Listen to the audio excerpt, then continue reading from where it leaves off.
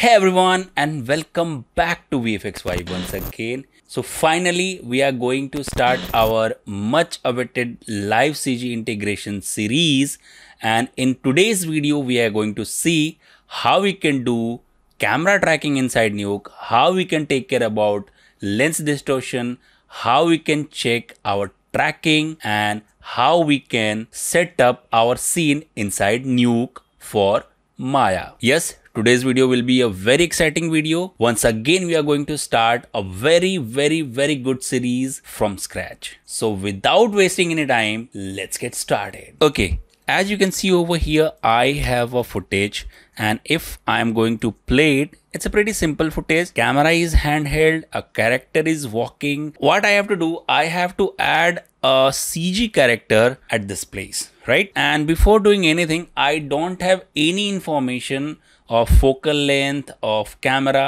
i don't know anything right? So first thing first let's see if uh, my project is set or not. It's 2k dcp good. So first thing i want to calculate lens distortion right? Because it's mandatory. So i'm going to take a node called lens distortion. So as you guys know i'm not very big fan of new lens distortion. So let me update it and let's type one more time lens distortion. So probably the old one will come and i'm going to use it. So let's connect my lens distortion and i'm not able to see any kind of straight line but i'm assuming that this should be a straight line. This should be a straight line although it's not mandatory to do something like that. If you're planning a shoot please take your checkerboard shot just to calculate your lens distortion, right? But still, if we don't have anything, I'm going to line drawing mode and probably I'll start drawing it. So let me do this. Probably I'll draw this line.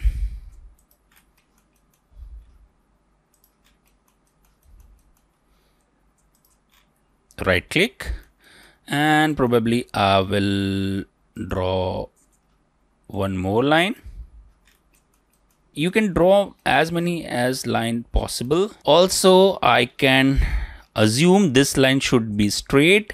So probably i'll start from this place.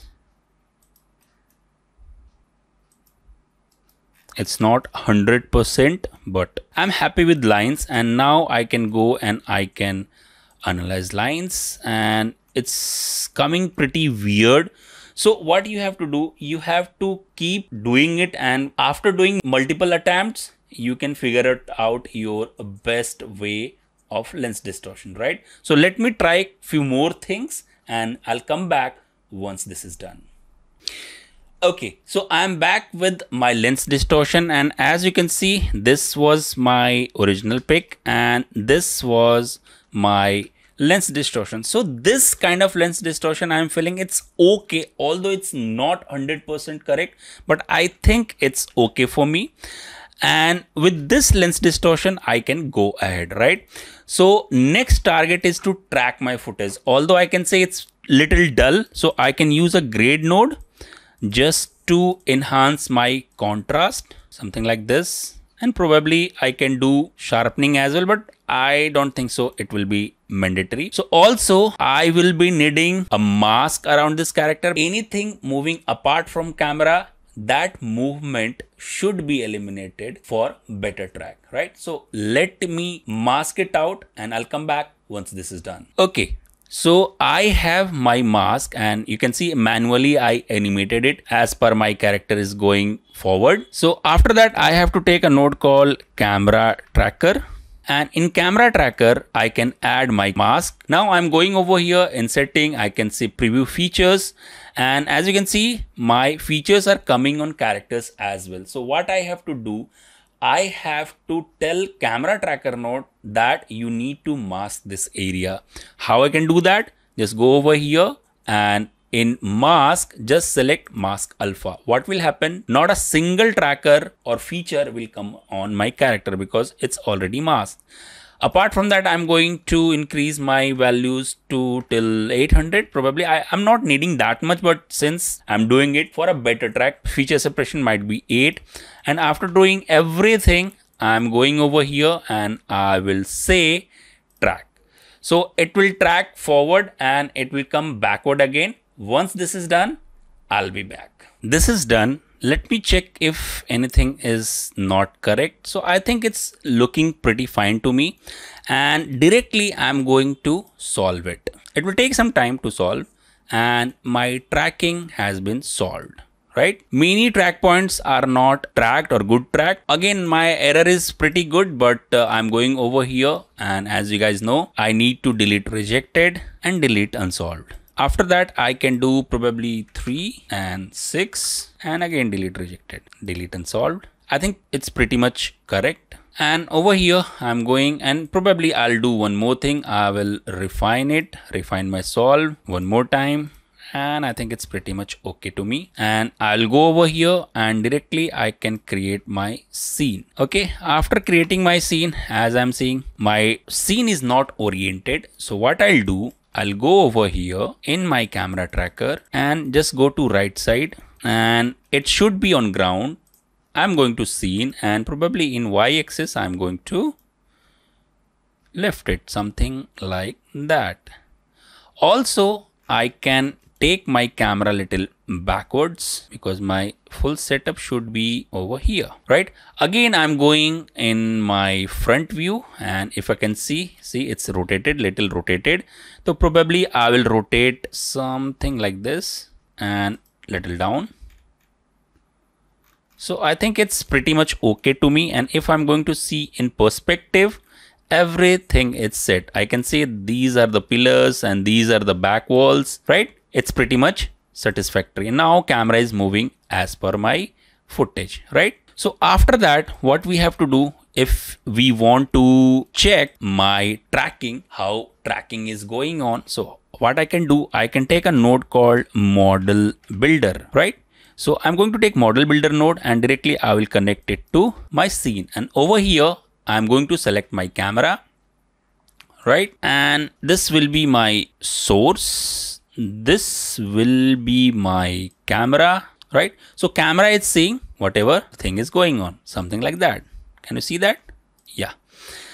Now what i have to do i have to model few things like i want to model pillar so that i can know the exact position of my characters right?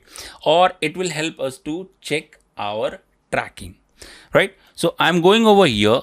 In shape defaults i'm going to take uh probably cube and if you see rows 1 column 1 slices 1 it's all okay. Click and drag what will happen? Your cube will in your scene. So on first frame i'm going to position it. Probably i'll do this just to check my positions. And second point i will put over here. Third point i'll put over here. And automatically you can see probably i'll put here take time to manage your shape. And fourth one automatically it will be placed. So probably I want till here. So I can do this. And let me adjust my points. So I think it's fair enough right? If you want you can do this. You can you can uh, extrude it and you can start modeling and rebuilding it. It will be your choice. Now keep it in mind that if you are using model builder node so if you're setting your positions of your uh, any 3D element with your reference or with your footage. So you need to adjust in some different frames as well so that 3D data or 3D element will get exact position from your camera, right? So first thing first, let me show it to you what I mean that. So this is, you can see my camera and this is, you can see my mesh, although it's not synced in position. So what I have to do, just go over here and go some some random frames or probably frame number 100 and let's adjust it. Now we are adjusting positions right? Position to camera. So we need to adjust position to camera as well. Something like that. Right?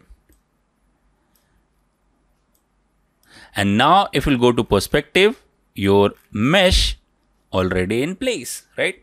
So I'm going to model few more shapes and I'll come back once this is done. Okay, so what I did, I modeled my this thing and if I'm going to play it, it's working pretty fine to me, right?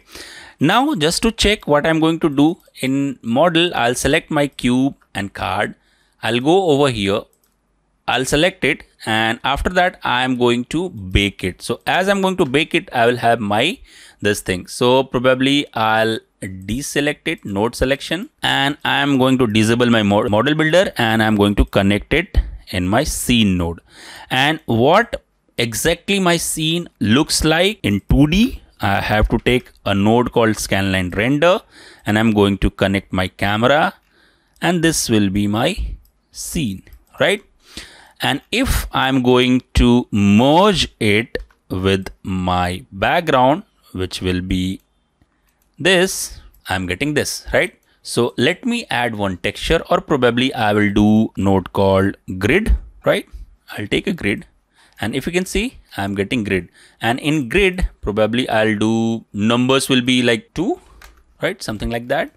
And if you can see on grid width should be like 3 or 4 it's working pretty fine. Now i'm having this and this. After adding grid to my this thing what i can do i can take a merge node and i can merge my background and merge my foreground and just see I'm getting this thing.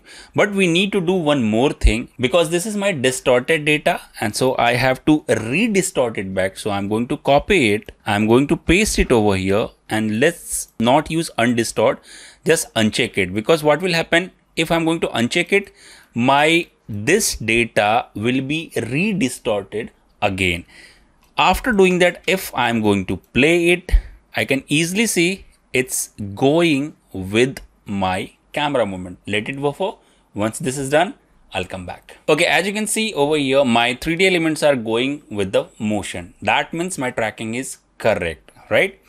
So this is very important to understand the process of lens distortion. So I hope you will have an idea how we have to do lens distortion, camera tracking, and how we can use our model builder node just to check the quality of camera tracking.